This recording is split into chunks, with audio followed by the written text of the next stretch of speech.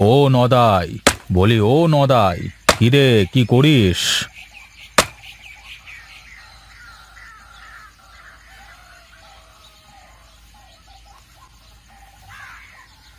আগে কর্তা এবছর ভাবছি নতুন কিছু করব। এই এক ফসল চাষ করে করে জমির মাটিটা কেমন নষ্ট হয়ে যাচ্ছে। দেখেছিস হরি?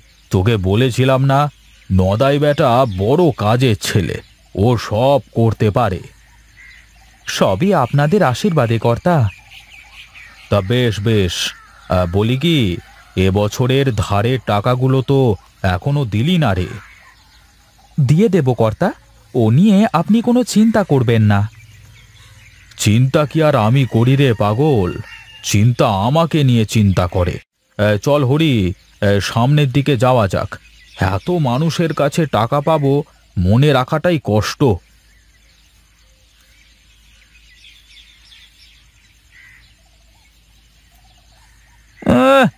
বেটা, কটা টাকা পাবে মাত্র? তাতে যেন মাথাটা কিনে নিয়েছে। হতচ্ছাড়া, গরিবের উপর জুলুম করে বাহাদুরি দেখায়, আবার কথা বলছে। যা করে করুক, তাতে আমার কি? যাই যাই, আমি আমার কাজটা করি গিয়ে।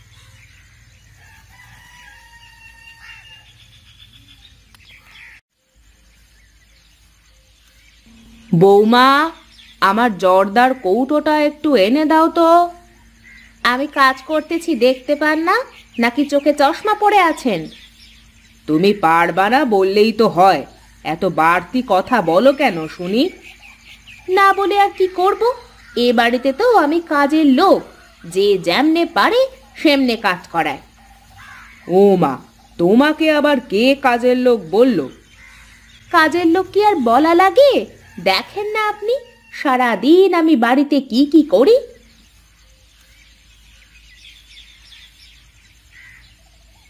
তো বাড়ির সব কাজ কে করবে? আমাকে করে দিতে বলতেছ নাকি? তা আবার কখন বললাম আমি? কেন? আপনি ছাড়া কি বাড়িতে আর কেউ নেই? সে কি শুধু বসে বসে খাবে আর ঘুমোবে নাকি? এই নেন মা, আপনার জর্দার কৌটো ওই যে, চলে এসেছে আপনার জর্দার কৌটো। আমাকে নিয়ে কি কিছু বলছিলে বৌদি? না, তুমি তো ঘরের মধ্যে কানে তুলো দিয়েছিলে, তুমি কিচ্ছু শুনতে পাওনি। অনেক সময় কিছু কথা শুনেও না শোনার মতো ভান করতে হয়। বেশ তো, তাহলে না শোনার ভান করে আবার ঘরে গিয়ে ঘুমাও, আমি রান্না শেষ করে তোমাকে ভাত, বেড়ে, খেতে দিয়ে আসব। থাক, তা আর লাগবে না। তুমি থালা বাসনগুলো মেজে আসো। আমি রান্নাঘরে গিয়ে তরকারিগুলো কেটে দিচ্ছি। হাত পুড়িয়ে রান্না তো আমাকেই করতে হবে। তাহলে তরকারি কুটে দিয়ে আবার কি হবে, শুনি?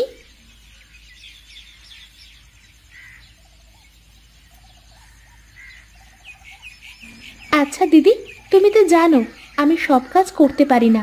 তোমাকে বলেছি যে আমাকে আস্তে আস্তে সব শিখিয়ে দেও। আমার তো খেয়ে দে কাজ নেই, তোকে কাজ শিখিয়ে বেড়াবো। দেখো আমাকে যদি সব শিখিয়ে না দাও তাহলে তো তোমাকে একলাই সব কাজ করতে হবে। তাহলে কোনটা ভালো বলো? আমাকে সব শেখানো নাকি না শেখানো?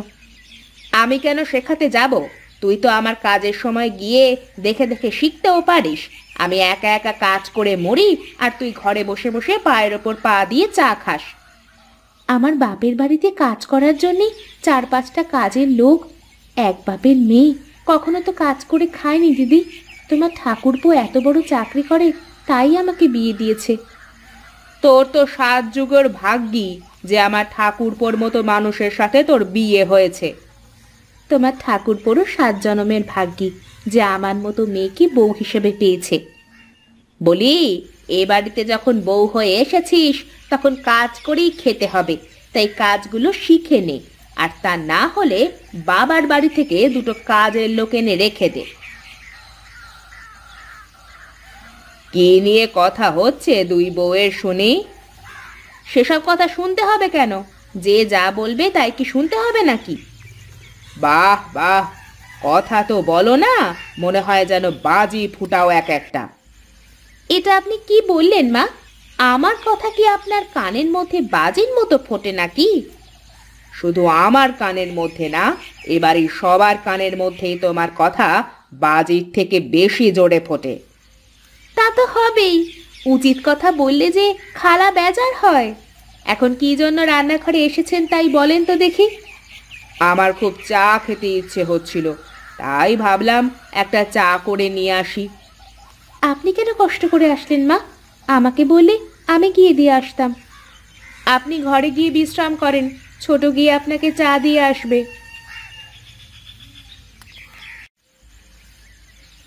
শোন নদাই তা অনেক দিন তো হলো রে বাবা। তুই তো ধারে টাকাগুলো ফেরত দিলি নে। এবার আমি কি করব বল? কর্তা, আর কয়েকটা দিন সময় দেন, আমি সব শোধ করে দেব। এতদিনে পারলি নে, আর কটা দিন সময় দিলেই পেরে যাবি? আমার তো মনে হয় না। আমার কথা বিশ্বাস করুন কর্তা, আমি ঠিক দিয়ে দেব এবার। কর্তা, ওকে আর সময় দেওয়ার দরকার নেই কর্তা। বেটা, দিনের পর দিন কেমন ঘোরালো আমাদের, আপনি দেখলেন? শোন নদাই, আমি তোকে আর সময় দিতে পারব না। তুই কালকে আমার টাকা দিবি, তা না হলে তোর ওই জমি আমার নামে করে দিবি, বুঝলি? কর্তা, আমাকে আর দুটো দিন বেশি সময় দেন, এর মধ্যে আমি আপনার টাকা দিয়ে দেব। আরে না না, এতদিন সময় দিয়েছি, এই অনেক, কালই সব টাকা তুই আমাকে দিবি।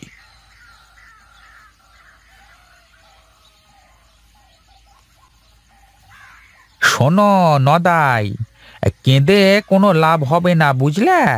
বাড়িতে গিয়ে টাকার গোছ করো গে। শুনলাম তোমার ছোট ভাই গণেশ নাকি শহরে বড় চাকরি বাকরি করে। ওর থেকে তো টাকাটা নিতে পারো, তাই না? তুমি তো মহাজনের চামচা। তুমি মহাজনের হয়ে কথা বলবে, এটাই তো স্বাভাবিক।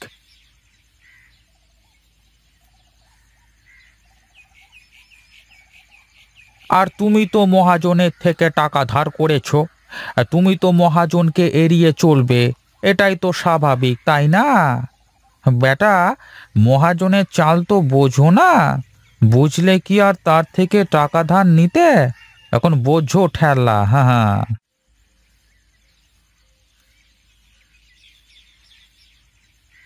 কিরে ছোট এইখানে এই কচু গাছের কাছে কি করিস? দিদি দেখো গাছগুলো কত সুন্দর দেখতে আর কেমন অদ্ভুত রঙের দেখতে। এসব আগাছা না রাখাই ভালো। কেটে ফেল ছোট। না, দিদি, আমার মনে হয় এই কচু দিয়ে কোনো ওষুধ বানানো যায়। ভালো কোনো কবিরাজের কাছে শুনলে পাওয়া যাবে। কি দরকার এসবের? যা ভালো মনে হয় করগে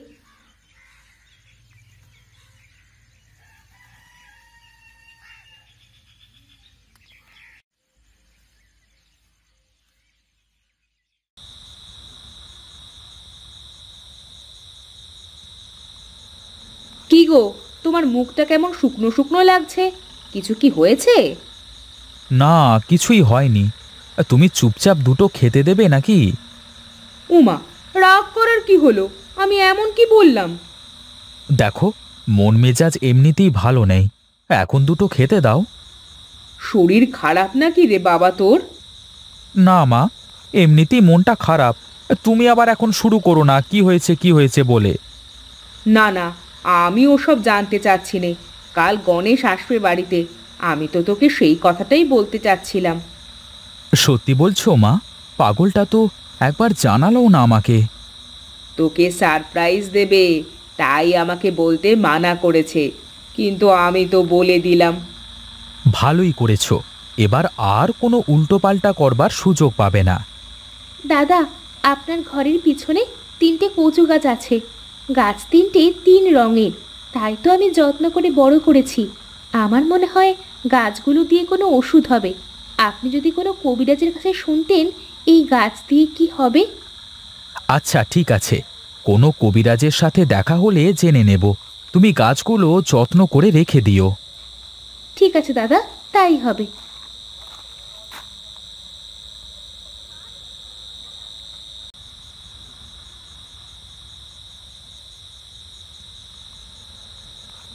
ওগো কি হয়েছে? বলবা না আমাকে। তোমাকে না বললে কি হয়? ওখানে মা ছিল ছোট বউ ছিল তাই তো বলিনি। কি হয়েছে? কি জন্য এত চিন্তা করতেছো? কালকে মহাজনের ধারের টাকাগুলো দিতে হবে তা না হলে আমার জমিটা লিখে দিতে হবে। এত বড় একটা কথা আর তুমি আমাকে আগে বলনি? বলে কি হবে বলো? তোমার কাছে কি টাকা আছে নাকি?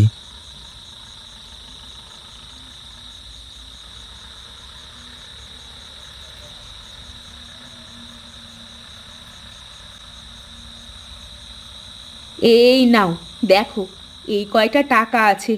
আপাতত এগুলো দিয়ে আসো কাল সকালে তারপর বাকি টাকা গুছানো যাবে। তুমি আমাকে বাঁচালে গিন্নি।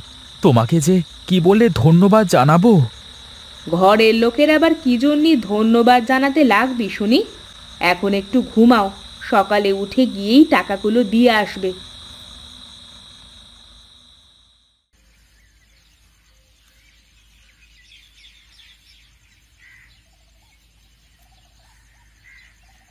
মা তুমি এত সকালে উঠানে দাঁড়িয়ে আছো কেন তোমরা? এই নে বাবা এই টাকাগুলো রাখ। কিন্তু মা এ কিসের টাকা? আমার আর মায়ের জমানো টাকা দাদা এটা এখন আপনার দরকার। আমি জানি আপনি শত বিপদেও আপনার ভাইয়ের কাছে টাকা চাবেন না। তাই তো আমি আর মা কাল রাতে আপনার কথা শোনার পর আমাদের জমানো টাকা থেকে আপনাকে এই টাকাটা দিলাম। যা বাবা গিয়ে মহাজনের টাকাটা আগে দিয়ে আয়।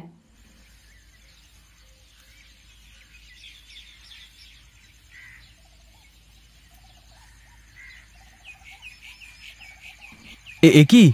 মহাজনের কি হয়েছে? কি আর হবে? বেশি ভোগবিলাসী হলে যা হয় আর কি। শরীরে কোনো রোগ ধরা পড়ে না কিন্তু সে উঠতে পারে না। এই রোগের কোনো ওষুধ নেই কবিরাজ মশাই? আছে আছে কিন্তু তা খুঁজে পাওয়া খুবই কষ্টকর গো। আচ্ছা আচ্ছা বলেন দেখি কেমন ওষুধ?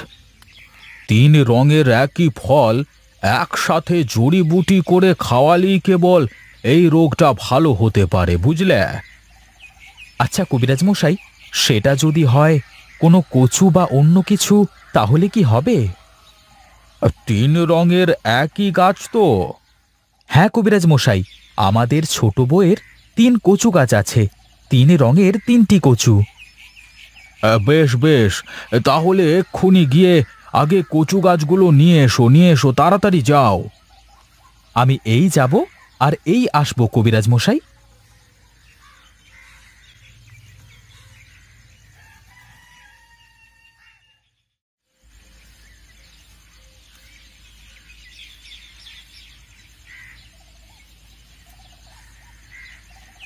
এ- এই তো কবিরাজ মশাই, মহাজন ভালো হয়ে গেছে।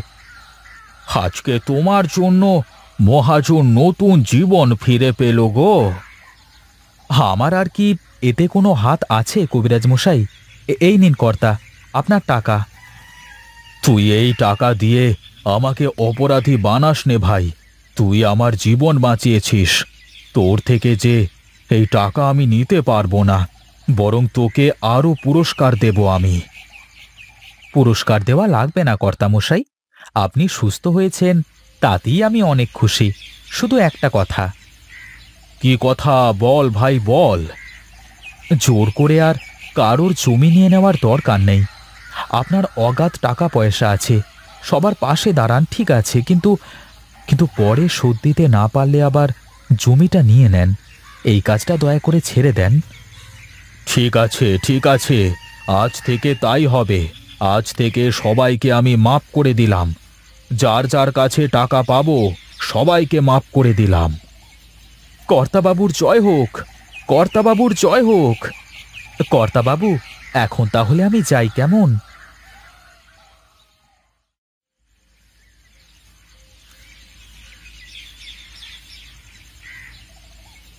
এই নাও তোমাদের টাকা, যার যার টাকা বুঝে নাও। কেন রে বাবা? মহাজন টাকা নিল না? না মা ছোট বউয়ের তিন কচু মহাজনের জীবন বাঁচিয়েছে তাই তো মহাজন টাকা নেবে না। কত জোর করলাম। শুধু তাই না মহাজন এখন থেকে আর কারোর কাছ থেকে জোর করে জমি লিখে নেবে না। ওগো সত্যি বলছো তুমি? হ্যাঁ গো গিন্নি সব সত্যি বলছি। দেখেছ গিন্নি পরিবারের একজন বিপদে পড়লে কীভাবে সবাই পাশে দাঁড়ায়? তোমার মতো মা আর ছোট বউ তাদের জমানো টাকা আমার হাতে তুলে দিয়েছে। এই জন্যই তো পরিবারের সবাই মিলে মিশে থাকতে হয়। আমি তোদের সবাইকে সারা জীবন এভাবেই একসাথে দেখতে চাই রে বাবা।